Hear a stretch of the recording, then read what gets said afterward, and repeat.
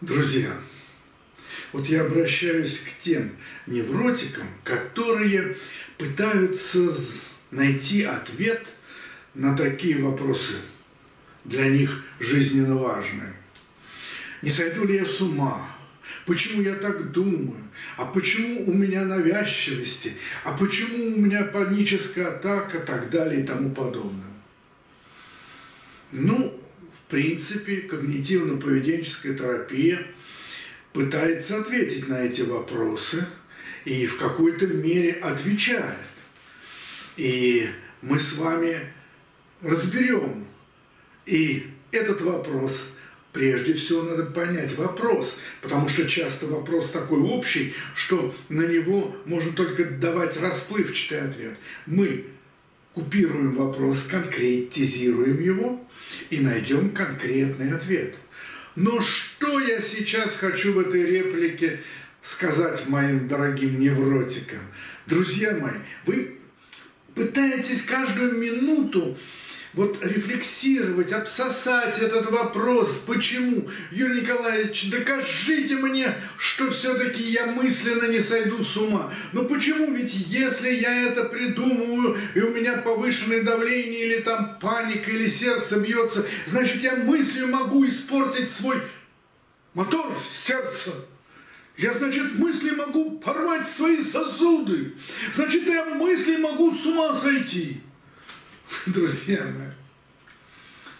Чтобы с ума сойти, надо прежде всего найти с того, с чего ты хочешь сойти с ума. Ну, это шутка.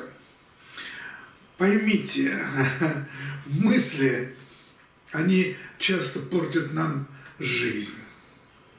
В каком смысле? А то, что мы живем в той виртуальной реальности, которая у нас в голове. И вот мы насадим э, каких-то зеленых человечков или каких-то фантомов в своем воображаемом мире и сами себя пугаем. Ну, ограничивается общение, мы начинаем об этом думать, эти навязчивости прилипают, мы все время это обсасываем, потом приходим к психотерапевту, он поговорит с нами, ну, грубо говоря, подрочит нам вот эту мозоль. Мы возбудили эту мозоль про эти человечки. У нас, ну, мы не можем все время быть в состоянии возбуждения. У нас падает это возбуждение, мы облегченно идем от психотерапевта. Он нас понял, какой он замечательный. На ему 35 тысяч. Это я Степанова Вероники. А Потом-то он приходит домой, у него опять это эмоциональное возбуждение нарастает, мысли начинают бродить. И опять, опять мастурбация. А я вам говорю, друзья мои, я вам расскажу немножечко по полочкам. Вы же не психологи, вас на психологов не собираюсь учить. Расскажу, где, как и почему. Но условно, как говорится, только букварь.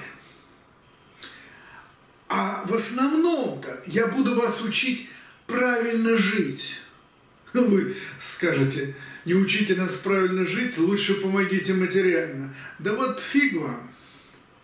Правильно жить и материально вам э, будет хорошо, а самое главное, качественно будет хорошо.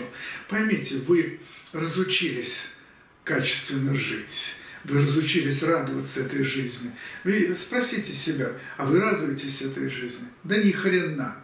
Если мы будем рассуждать, почему вы не радуетесь этой жизни, так как унтер-офицерская вдова, и кофе будете пить без удовольствия, сексом будете заниматься без удовольствия, да и на солнце будете смотреть, как будто оно вас хочет спалить.